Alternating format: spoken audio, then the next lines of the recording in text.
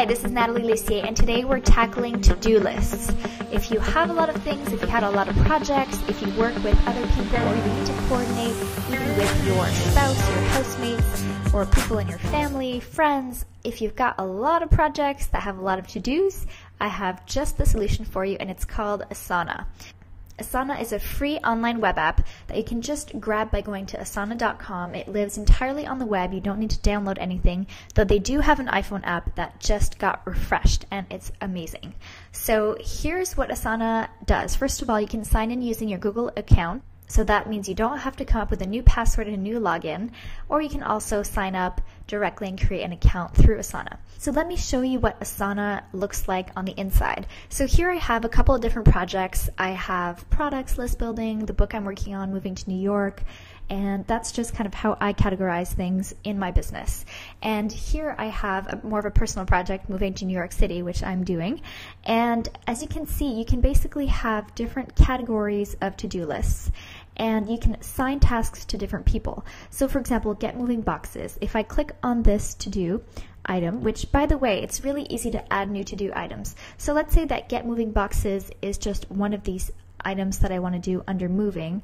The other one might be secure the elevator for moving. So now what I can do is I can actually assign somebody to this particular to-do list. So right now I'm just going to assign it to myself and then you can actually choose a due date.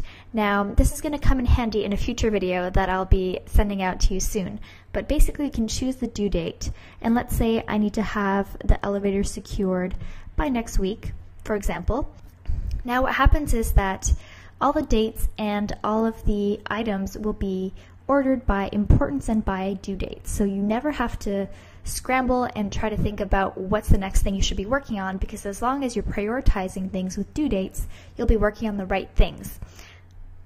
So, for example, let's say that I've already finished this. I'm just going to mark it as done. And now you can see these are all the things that I've done so far on this project. And I can also archive these tasks so that I just have my latest update on here. So there are tons of productivity tools out there, but why am I using Asana and why do I recommend it? I just love how simple and how easy it is to do everything. It's almost like using a piece of paper, except you can keep everything synced up with a team and all through the internet, which I absolutely love. And the other thing is how easy it is to add to-do items. You can just press enter, it'll create a new item for you.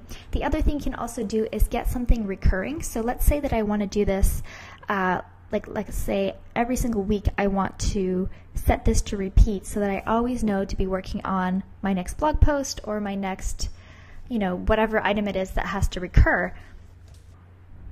You can add new project types just by typing a colon. So let's say this is a category that's just created a new category and now I can create new items beneath that category. You can also reorder things if things are in the wrong categories. So you can also just delete things once you're done with them. Nice and easy. I feel like Asana is just one of those smooth, easygoing programs that really just lets you go in, do your work, and be out of there. And I'm going to show you something next week that makes Asana even more powerful. So just go ahead, grab your free Asana account, start using it, get the feel for it, and then next week we're actually going to dive into a little bit more of a ninja trick that I want to share with you that will take Asana to the next level. So I hope you enjoyed today's Asana training video. And as you can see, it's really easy. So please give it a thumbs up if I've just introduced you to a cool new tool and you plan on using this.